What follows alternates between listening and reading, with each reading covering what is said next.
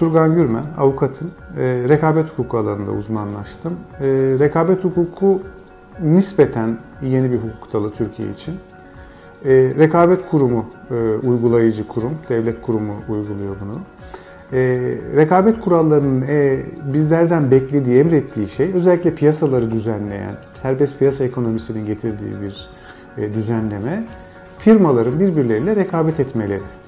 İşte rekabet kurumu da bu alanda firmaların birbirleriyle rekabet edip etmediklerini, e, kanuna aykırı davranıp davranmadıklarını kontrol eden bir düzenleyici, buna ilişkin mevzuatlar e, yapan düzenleyici bir kurum. E, bu işin iki ayağı var açıkçası. Danışmanlık ve mahkemeler nezdinde yapılan iş. Ben her iki alanda da çalışıyorum. Bunun danışmanlık ayağında firmalara gidip rekabet kanununa uygun davranıp davranmadıklarını, bu kanuna uygun davranmak için neler yapmaları gerektiğini, sözleşmelerinde nelere dikkat etmeyi, ilişkilerinde nelere dikkat etmeleri gerektiğini, bu ilişkiler rakiplerle olabilir, dağıtım e, olan firmalar olabilir. Bunlar da tabii burada da hayatımız genelde firmalarda toplantılarda geçiyor. Toplantılarda danışmanlık yapıyoruz, kuralları anlatıyoruz. Buna ilişkin de e, soruları cevaplıyoruz. Bu işin danışmanlık kısmı. E bazen de her zaman ideal hayatta böyle olduğu gibi olmuyor. Rekabet kurumu firmaların kanunu ihlal edip etmediklerini e, araştırmak için ön araştırmalar açıyor. Bazen soruşturmalar açıyor. İşte bu ön araştırmalarda, soruşturmalarda da firmalara savunmanlık hizmeti veriyoruz. Burada da bildiğiniz avukatlığın gereği olan e, hizmetten bahsediyorum.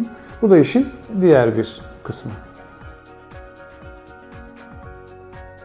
Aslında e, birçok e, keyifli alanı var e, bunun. Çok insan tanımak, birçok firmayla çalışmak gibi. Fakat bana en fazla hani kişisel olarak keyif veren tarafı rekabet kurulu önünde yaptığımız savunmalar. Burada hakikaten insan hem kendi olabiliyor hem de gerçekten avukatlık yaptığını hissedebiliyor. Çünkü rekabet kurulu sözünüzü kesmiyor. Rekabet kurulu önünde istediğiniz kadar savunma hakkına sahip oluyorsunuz. İstediğiniz araçlardan faydalanabiliyorsunuz.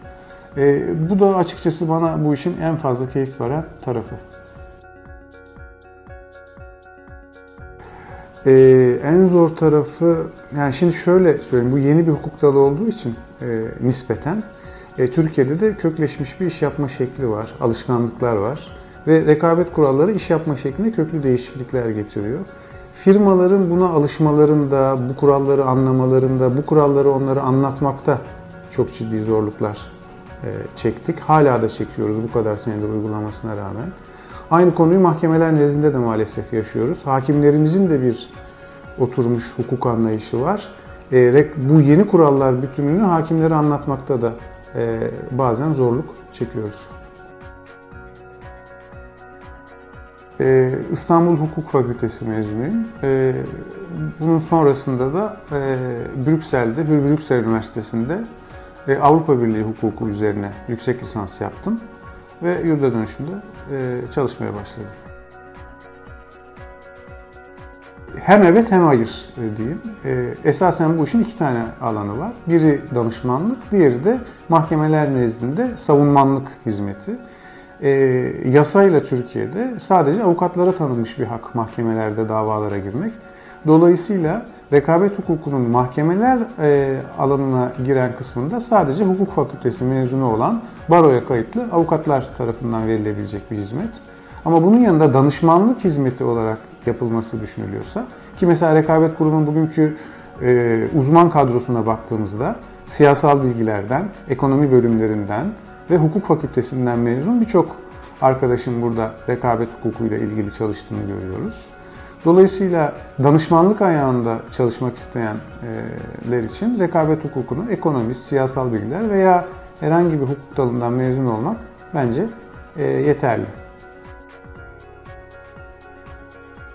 Yolun başında olsaydım herhalde yine kendime e, yurt dışına gidip bu konuda uzmanlaş, eğitim al derdim. Açıkçası bu işe başlarken e, özgürlüğü seçtim ben. E, Birçok büyük büroyla ortaklık e, veya kurumsal yapı altında çalışabilme olanağı varken ortağımla birlikte biz e, butik bir büro, büro olarak kalmayı tercih ettik. Özgürlüğümüzü tercih ettik. Şu an yolun başında olsam yine özgürlüğümü tercih ederdim kendime. Bir de rekabetle bağlantılı değil ama iş hayatıyla ilgili e, hayır demeyi daha erken öğrenmiş olmayı isterdim. E, Valla işimden çok memnunum. Baştan onu söyleyeyim. Çok keyifli bir alan ama tamamen farklı bir şeyse bir sahil kasabasında balıkçılık yapardım.